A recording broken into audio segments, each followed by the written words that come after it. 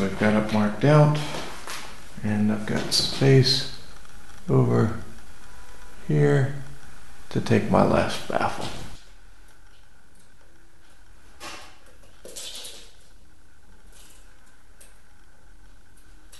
Now these guys are longer because these guys are going to come up form your wings. Plus you got fudge factor because you're going to roll over and run a cord down.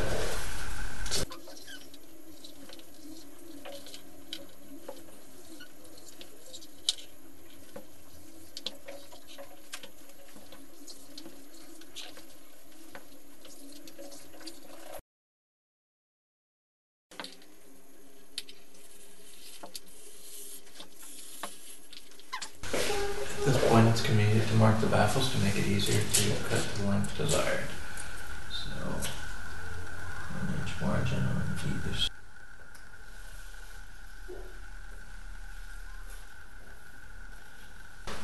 So, at this point, we have five baffles pinned down, and I can double check that they're pretty much over the lines, so that's good.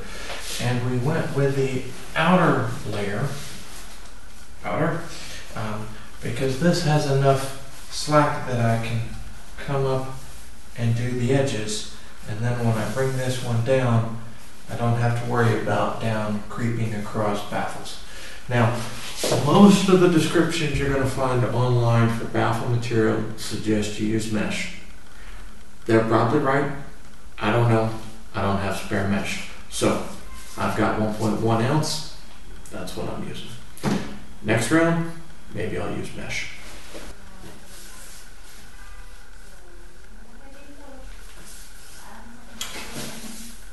So now we've rolled our hems for the first layer for the baffles. We're going to sew all of those. Then we're going to come back and do the top layer. That's going to be the challenging part. When you've turned the corner on the baffle and you've brought it up the side of the outer shell, pay attention to your line. You only want a three inch high baffle. In my case, yours might be shorter if you're doing a summer weight or longer if you're doing a full blown winter weight. But make sure you stop short. So you should have an inch and you should still, still be heading towards the line. Back up, go forward, seal it off. Okay, now at this point, we've got, you could say, kind of the bed laid. You've got the outer shell, your five baffles. Okay, and notice they're already tacked up on the side. I'm trying to see if I can learn from something that Grizz talked about. Um, that's Professor Hammock on YouTube, uh, Grizzly Adams on Hammock Forums. Um, basically, he didn't do this when he did his, and said coming back later it was challenging. So I'm doing it now. We've rolled the hem for the top part of the baffle so that when it's time to tack it on to the inner layer, it's already rolled and that should simplify things. I can run it down. We'll seal the ends. We're going to leave a channel so that I can run shock cord this way. On the outside edge, we've got extra, so we'll be able to roll a channel as well for shock cord that way.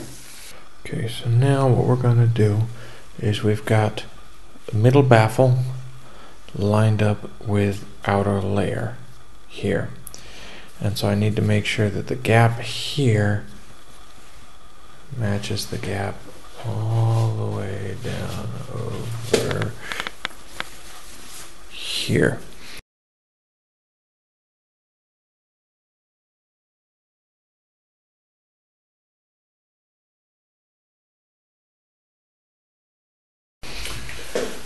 Okay, so now we have our four main baffles. Still open on both ends. So at this point, I'm going to run shock cord down the side and I'm just going to pin it so that I have the two rolled hems touching and that should give me enough space for my shock cord to sit outside my foot um, so I won't break any needles and I won't have to go through the hassle of running the shock cord later.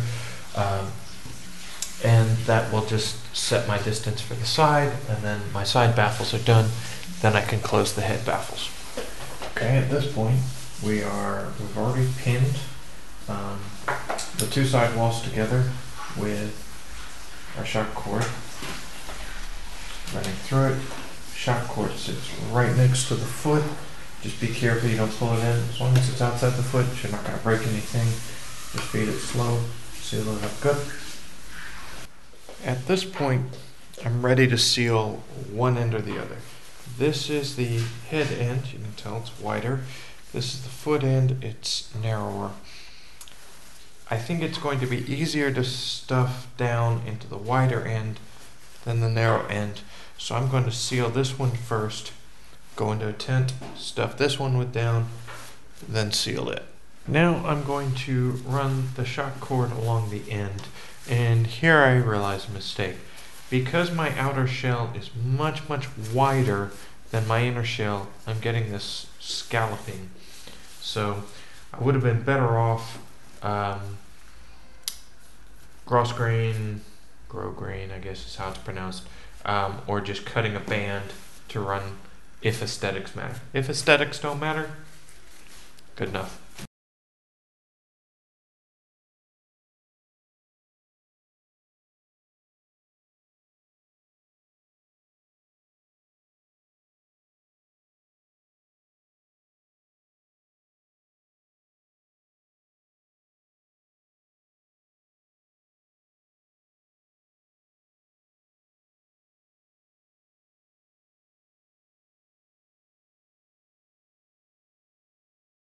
So we have sealed off the end. Now I'm going to roll the edge with shock cord in it. And then once I have that done, both sides, both ends will have shock cord, which should help me adjust. And then I can uh, get the down that's mostly at that end evened out.